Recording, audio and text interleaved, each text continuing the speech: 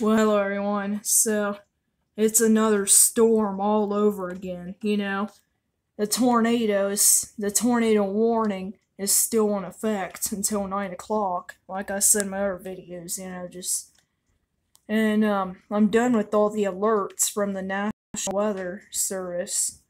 So that's good, but we still got some storms. They're coming our way, or my way, and there's a few more it's going to continue throughout the night, so the way it sounds, the tornado might be over with, but probably.